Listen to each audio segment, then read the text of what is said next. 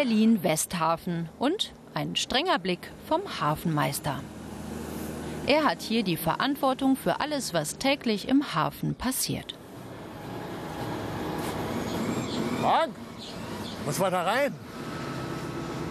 Harald Busch ist schon seit 33 Jahren dabei.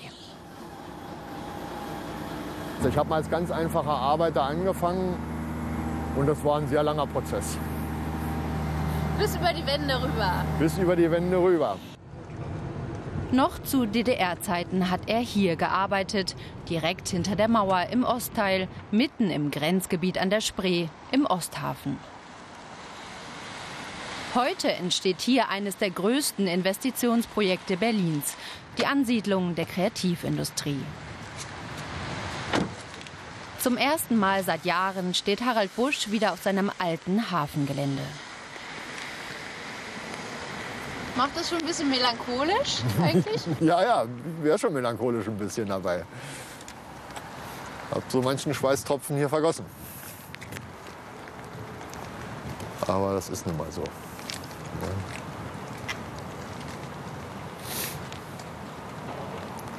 Aber nicht mehr wiederzuerkennen.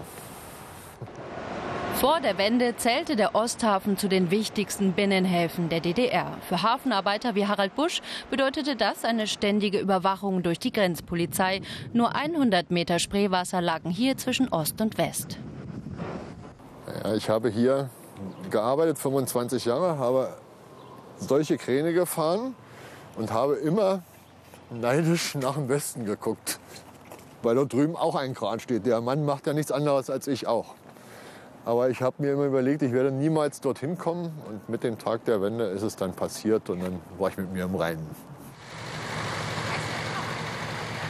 20 Jahre später, nach dem Mauerfall, zieht die deutsche Hauptstadt gerade wegen ihrer Geschichte Touristen aus aller Welt an. 18 Millionen Übernachtungen waren es im vergangenen Jahr. Das lockt Investoren wie MTV, BASF oder Universal Music an die Spree. Erst vom Wasser aus erkennt Harald Busch so richtig, wie viel bereits renoviert wurde. Das war mal ein ganz großes Papierlager. So lange wie ich mich erinnern kann. Dort wurden sämtliche Zeitungen, die es in der DDR gab, beliefert mit Papier. Wo früher Papier lagerte, wird heute Mode verkauft. Ein Wandel von der Planwirtschaft zur Marktwirtschaft, für den Unternehmer wie Stefan Sieler stehen. Er hat hier mit seiner Firma investiert. Jetzt stellt er Designern und Modeexperten den Neubau vor.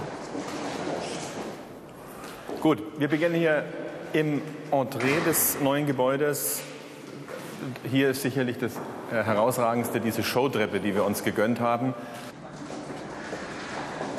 Stefan Sieler hat schon das zweite Modezentrum im ehemaligen Osthafen aufgebaut. Bis Januar, pünktlich zur Trendmodemesse Bread and Butter, muss alles fertig sein.